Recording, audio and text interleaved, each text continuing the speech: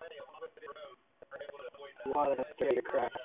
You know, they are serious. They're at the big one behind the truck. You can't see a lot, uh, but they're ahead of the attention. They start getting a little uh, confident, and uh, they're trying to find the